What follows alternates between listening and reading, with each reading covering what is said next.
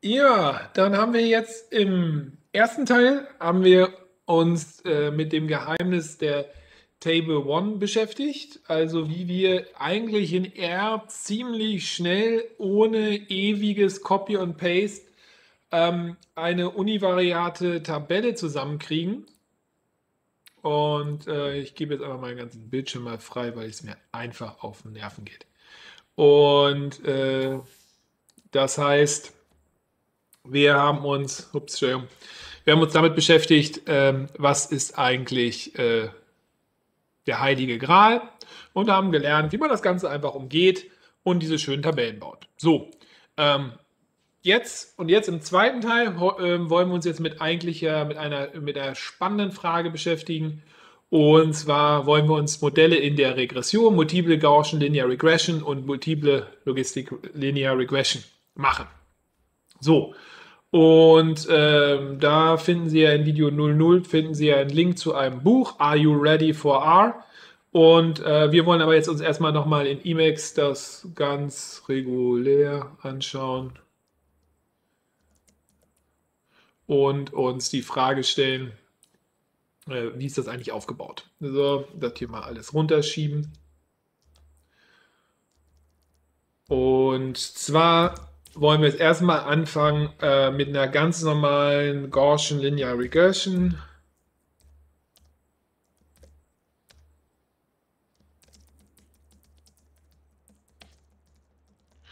Und zwar wollen wir das Ganze natürlich irgendwie noch, ähm, das ist unser, unser großes Über, Überbau. Und ihr habt da mal äh, was mitgebracht. Und zwar eine Datei, äh, die Datei EasyFit, die finden Sie auch auf dem Blackboard und auch, auch auf dem GitHub. Link sollte ich jetzt eigentlich drunter packen. Ähm, sonst schreiben Sie es nochmal in die Kommentare dann später rein, wenn ich das vergesse, weil den Datensatz habe ich selber gemacht. Das heißt, ich kann den auch rausgeben. Ähm, genau, das ist der Datensatz hier ähm, und den ist der Datensatz der letzten Klausur. Dieses Mal kriegen Sie natürlich einen anderen, aber der reimt sich so. Und äh, wir haben hier Weight Weight Cut, Weight Bin, Age, Gender, Sport. Easy Fit ist die Behandlung. Time Taken, Stop Due Incidence, Calories, City, Blood Pressure, Height und Kreatinin. Wie mir die Mediziner, die diese Prüfung letztes Mal mitgemacht haben, alle haben Nierenschaden, weil die einen Kreatininwert von 10 haben. Ich glaube, normal ist 2. Aber das passiert, wenn man Daten selber generiert. Also unsere Patienten haben alle Nierenschaden. Was, äh, ja gut noch andere Fragen sind. So, das heißt, wir lesen die mal ein. Das heißt, äh, easy fit, äh, Tibble ist äh, read äh, CSV. Wir nehmen das Pak äh, in TidyVerse ist ja das Paket reader auch drin und darin ist auch zum Beispiel die Funktion, wenn wir jetzt sagen würden, äh, äh, read SPSS-Dateien, dann ist read SAF geht auch. Aber man kann natürlich aus SPSS auch einfach was anderes, äh, CSV oder Excel-Dateien machen. Äh, Excel ist mit read, äh, read, äh, read XL und dann die Funktion read Excel. So, hier lesen wir jetzt easyfit.csv ein. You shall not pass Warte mal kurz. Gandalf ist gleich. Ja, weil ansonsten, ich muss mal kurz Gandalf machen, sonst springt er mir immer so weit runter und deshalb brauche ich mal kurz Gandalf, der mich da mal kurz auf, im auch kurz mal aufhält. Ähm, so, das heißt, ähm, eingelesen, easy fit, natürlich schon gleich wieder vertippt, grauenhaft heute. Ähm,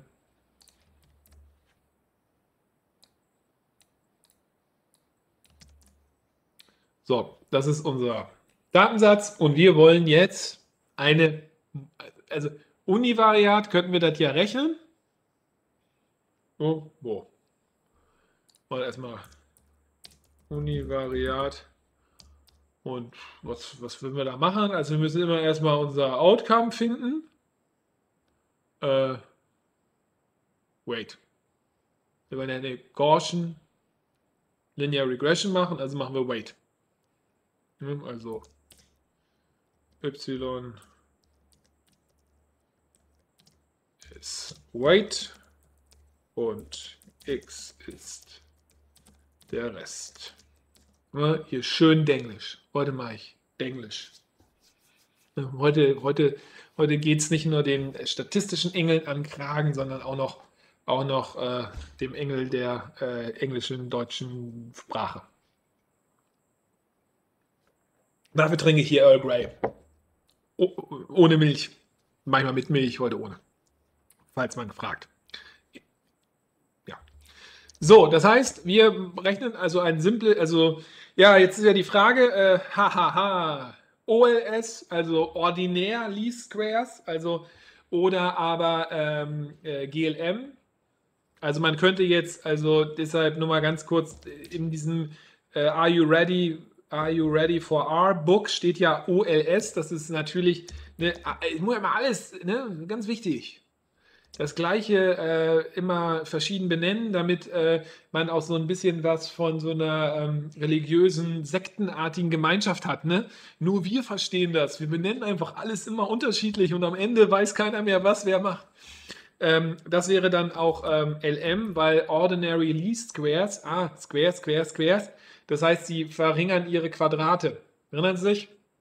Und ähm, das ist die kleinste Quadrate-Methode und das ist OLS.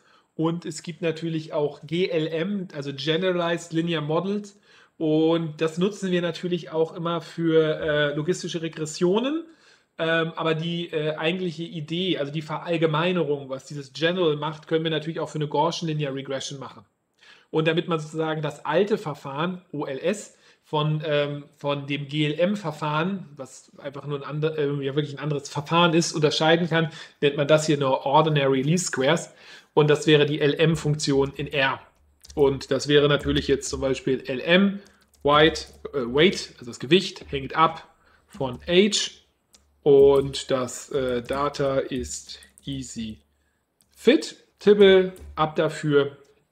Dann kommt das da raus. Und äh, Natürlich kann man das auch machen mit GLM und das wäre dann äh, Generalized Linear Models.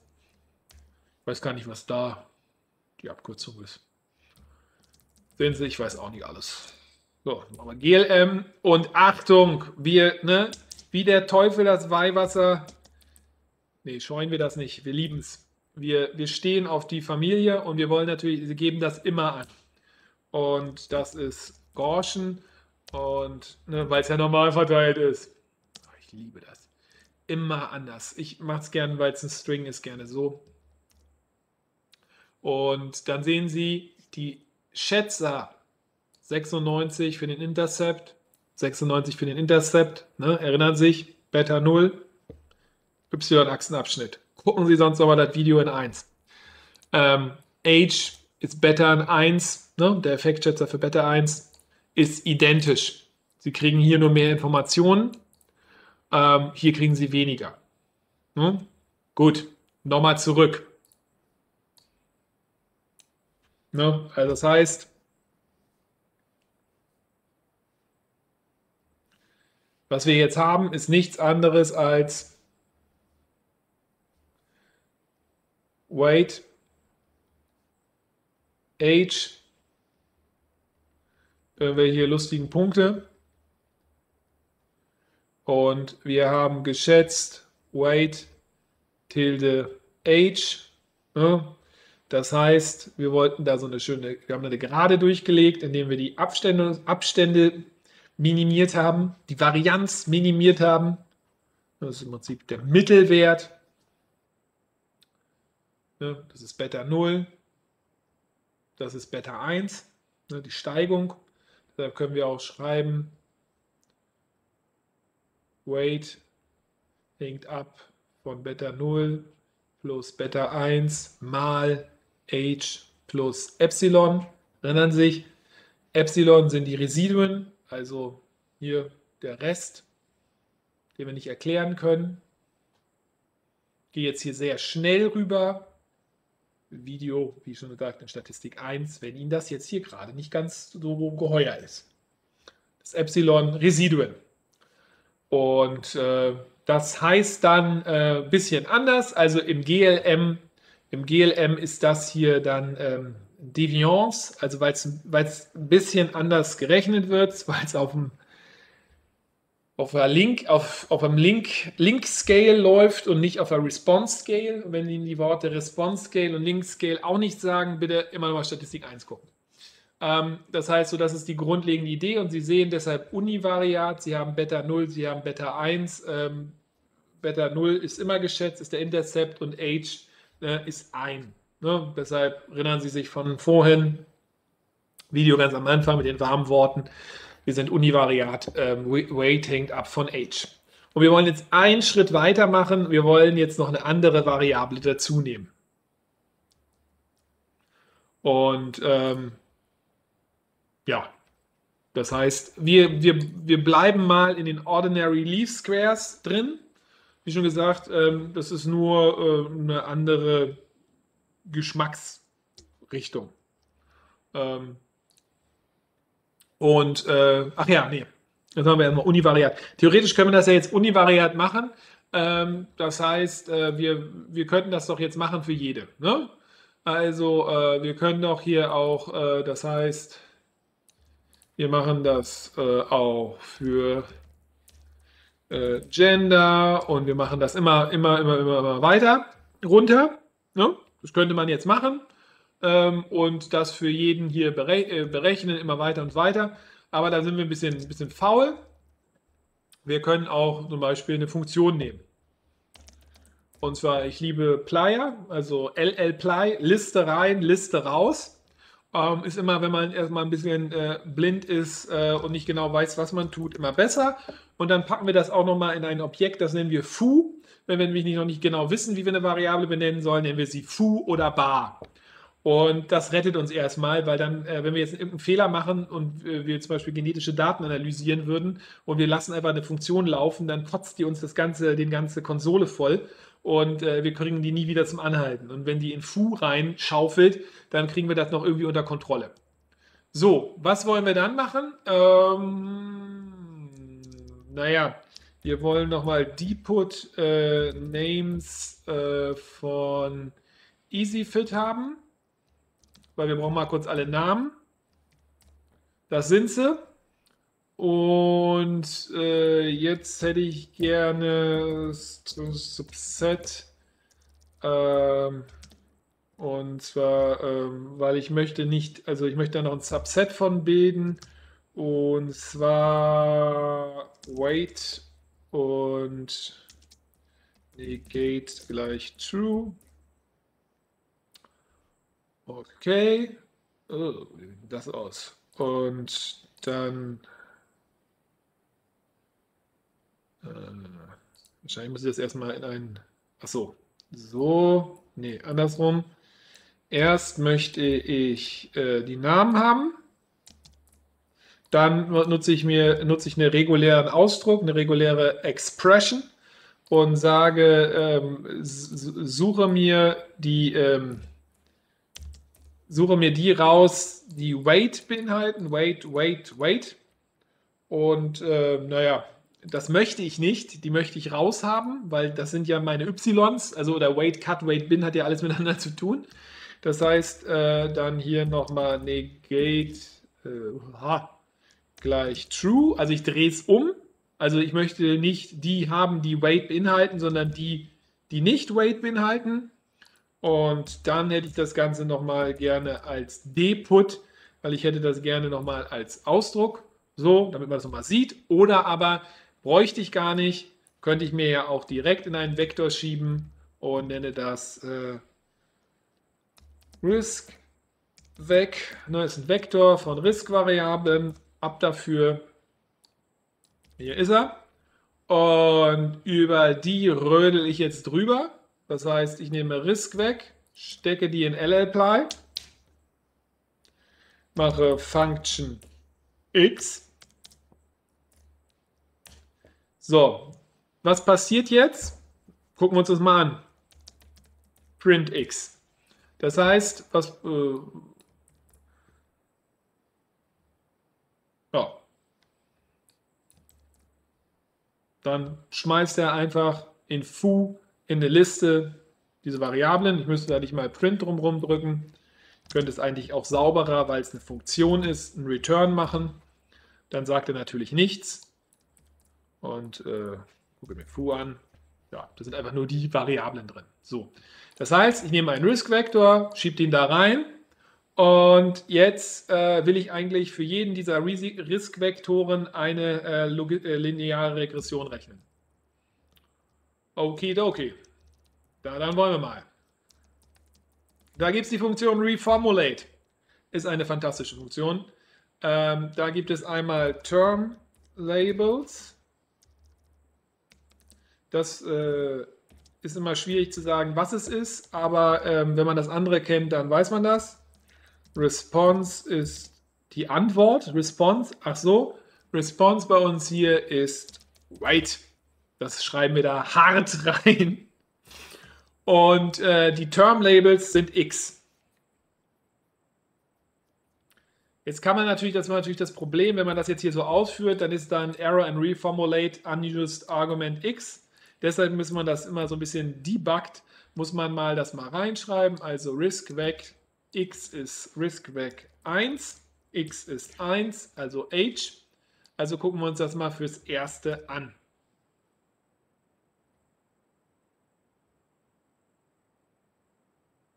What?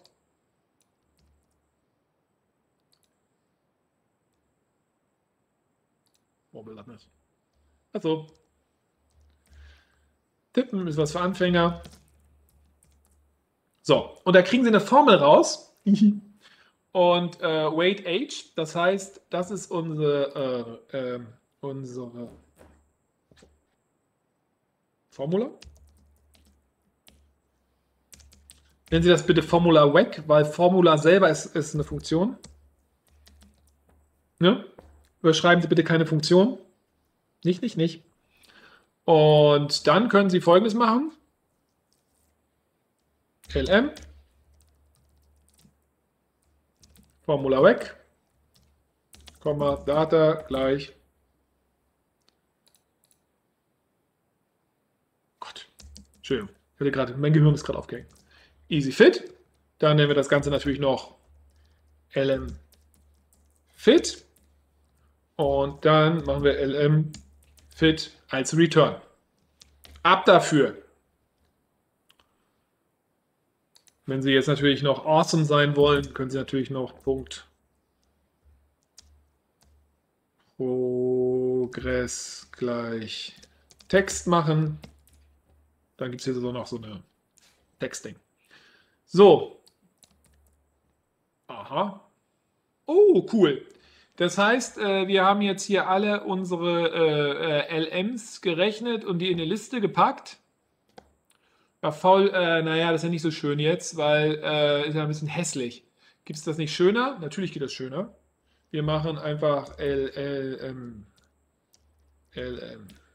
Tidy ist gleich LM fit und wir nutzen das Package brom und da die Funktion tidy.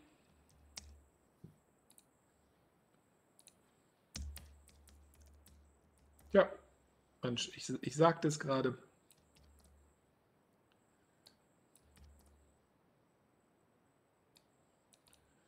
Äh, muss mal so ein bisschen rumwuseln, bis man das hat. Ne? Und dann möchte ich noch. Nee, mich stört der Intercept. Weil wenn ich das jetzt wiedergebe ne, und das in Foo mache, dann habe ich ja über. Sehen Sie, das ist immer so, man muss immer, deshalb ist immer eine Return immer toll, weil man sich dann selber auch zusammenreißen muss, ähm, was man da eigentlich macht. Da habe ich hier immer überall den blöden Intercept drin. Das stört mich. Und deshalb möchte ich select minus. Gott, geht das so? Das habe ich jetzt auch nicht gemacht. Weil da Klammern drin sind. Eieiei. Ja, das funktioniert so nicht. Das heißt, wir machen Margarita Extract. Ich schreibe das immer so, weil meistens es ähm, der Fall ist, dass Extract von irgendeiner anderen Funktion überschrieben ist. Und ähm, also Extract ähm, ist äh, eine Kurzfunktion von Margarita für die eckigen Klammern und Extract 2 von den Doppelklammern. Und wenn ich das jetzt mit Margarita Doppelpunkt Doppelpunkt mache, dann bin ich mir sicher, dass ich die äh, Extract-Funktion aus Margarita nehme. Ähm, weil wenn Sie jetzt mehrere Pakete laden und dann später noch mehrere Pakete dazu laden, kann es sein, dass Ihnen Margarita äh, Extract überschrieben wird. Und dann weinen Sie, weil auf einmal Ihre Funktion nicht mehr funktioniert und Sie nicht wissen, hä, warum soll denn das? Und wenn Sie dann Extract eingeben, dann, äh, Sie können ja immer hier Extract eingeben, äh, so, äh, dann sehen Sie hier Primitive, ähm, dann äh, sehen Sie, dass das eine Funktion ist für diese eckige Klammer. Und ich glaube, wenn Sie Class Extract machen, dann kriegen Sie Funktion wieder. Ähm, dann sind Sie, äh, ich weiß nicht, glaube Namespace müsste man gucken. Egal, wir, wir vereiern uns. So, das heißt, das haben Sie gemacht. Dann haben Sie das hier so schön voll und jetzt gibt es noch die Funktion, also es gibt nicht nur llply, also Liste zu Listen, also geben Sie eine Liste zurück, sondern ldply das Ganze auch zum Datensatz. Ne? Und dann sieht das schon sehr viel besser aus. Ne? Ähm, dann können wir das Ganze nochmal, das ist ja ähm, as Tibble, machen wir das Ganze nochmal. Wir brauchen das als Tibble, ich kann das nicht. So, machen wir noch als Tibble. Ne? Dann sehen wir das hier schon mal schöner, dann ist es schon mal sortiert. Also, das ist ja, also ich weiß gar nicht, wie er mit Data Frames arbeitet, welcher arme Wicht. Und dann haben wir das hier als Tibble und dann äh, Estimate, Standard Error Statistics, P-Value und äh, fertig ist es. Ähm, und dann haben Sie eine Inferenztabelle, also eine univariate, also Sie könnten dann sozusagen einfach eine univariate Tabelle machen, wie Sie es äh, vorhin gelernt haben und lassen diesen blöden P-Wert einfach weg. Weil, äh, weil der braucht, das braucht kein Mensch, sondern Sie rechnen dann einfach hier univariat das mit der logistischen Regression, wie ich Ihnen das hier zeige, runter. Ja, ne, und das können Sie natürlich auch einfach, hier können ja auch hier ein GLM reingeben, drücken Sie einfach auf GLM ähm, an der Stelle und dann machen Sie kein LM, sondern GLM-Fit und dann bauen Sie das da schön auf. Natürlich, weil Sie ja, es ist natürlich, braucht ja kein Mensch, ähm, äh, Sie entfernen natürlich ähm, äh, dann äh, minus äh, Statistik, ne? das braucht ja kein Mensch. Äh, das will ja keiner. So, und dann haben Sie Estimate Standard Error P-Value naja, und dann könnte man natürlich, haben sie recht, dann könnte man natürlich auch nochmal, weil, weil wir ja ein Tiny sind, ne, dann kann man ja hier auch nochmal reingeben, äh, ich glaube confint. Äh, ja, conf.int gleich true.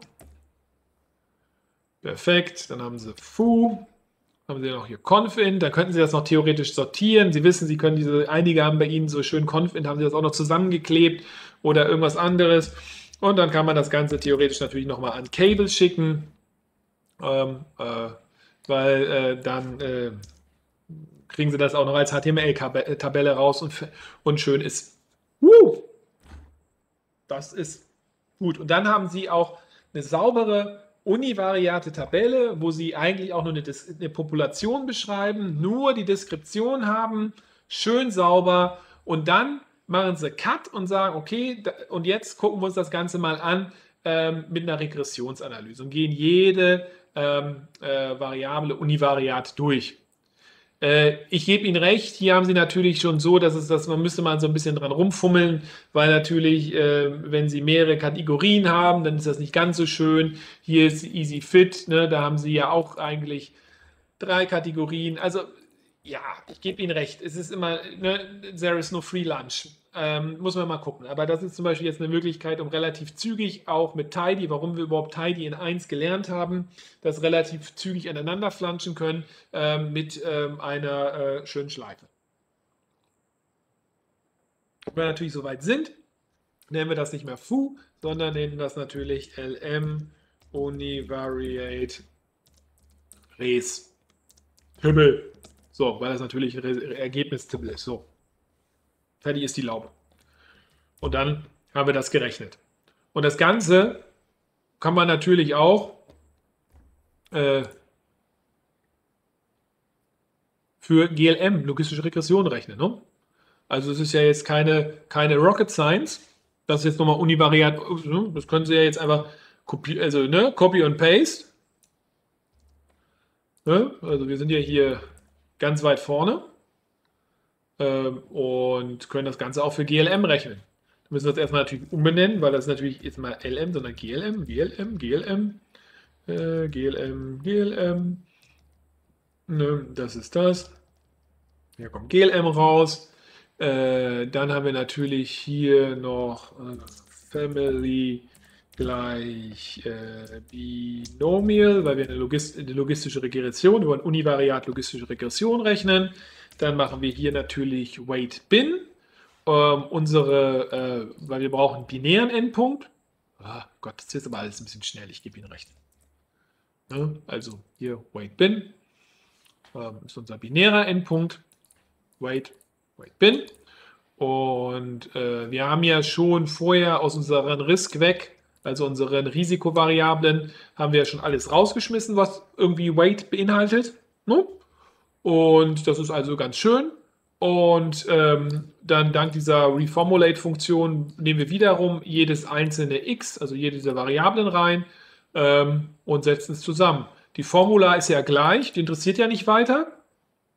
Ne? Das ist ja ist so, wie es ist. Und äh, Data ist easy fit, das ist jetzt unser Datensatz. Und dann äh, rödeln wir das mal durch. Und da sehen wir y äh, must be between 0 und 1. Da habe ich also irgendwo einen Fehler.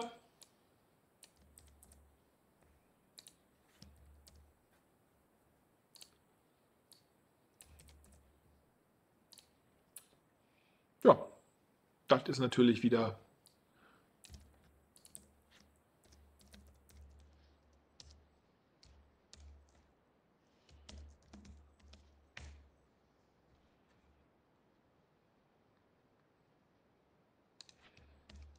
Ja.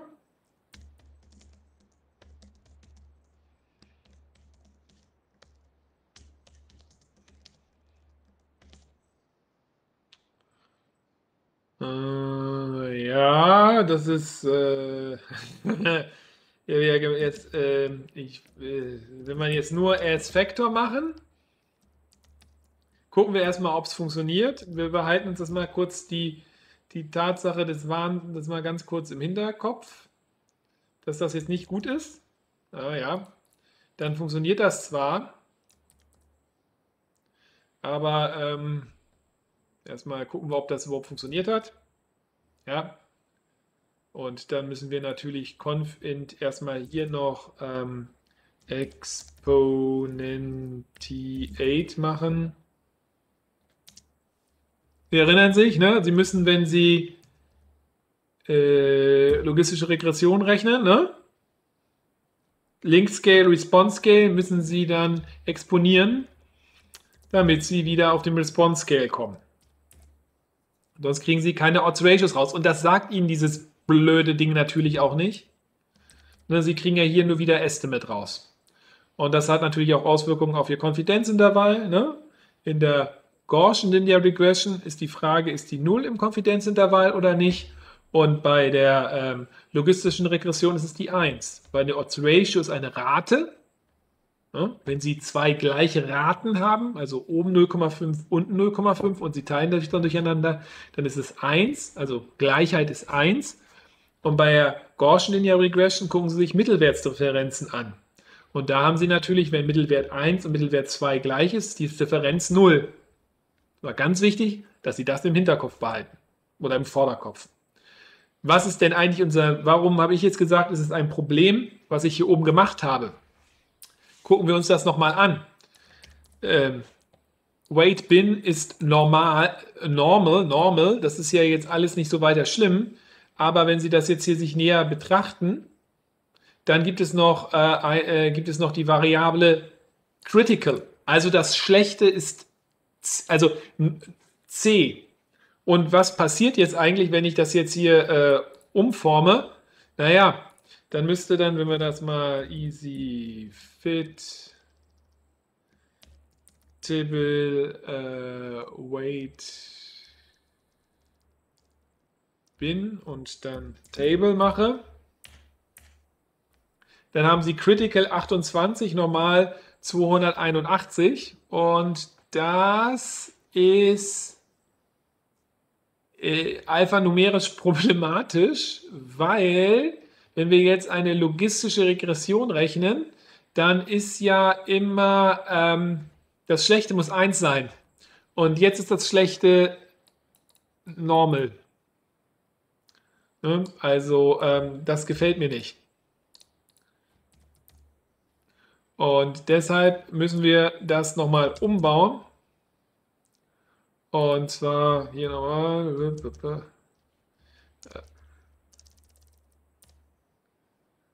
Level Critical Normal. Das möchte ich nicht. Sondern ich muss Factor, mache ich so. Und dann Levels gleich äh, C Critic, Critical und Normal äh, andersrum. Normal und Critical.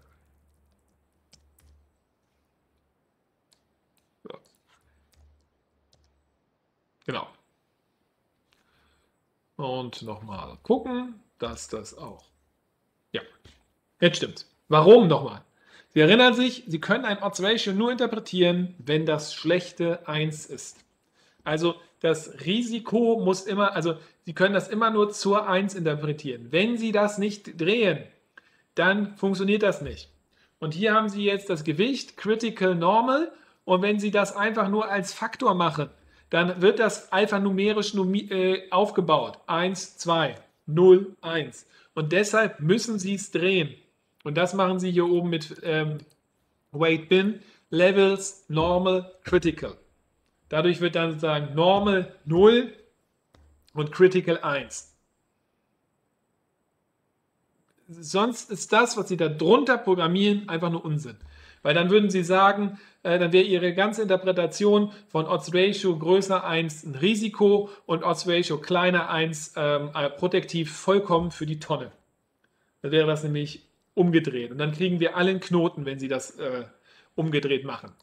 Und deshalb müsste dann, würde das, das hier, wenn man das jetzt nochmal neu durchlaufen lässt, danke, Progress, äh, sieht dann, sehen dann die Estimates auch wieder anders aus. Und Sie sehen äh, zum Beispiel, dass hier vieles äh, protektiv ist gegen eine kritische Gewichtsabnahme.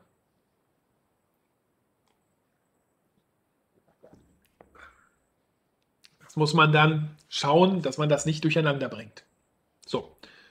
Ganz wichtig. So, das war jetzt die univariate Betrachtung des Ganzen.